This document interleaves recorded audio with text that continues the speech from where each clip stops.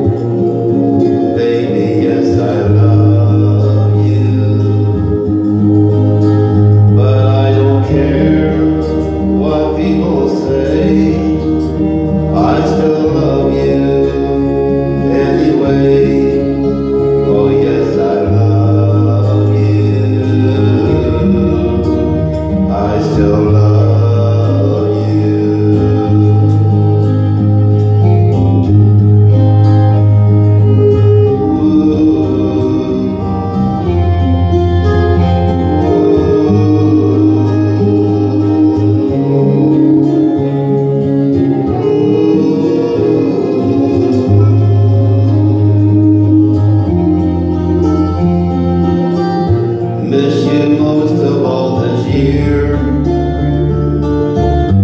must have cried a million tears, baby, I love you. Baby, yes, I love you. But I don't care what people say. I still love you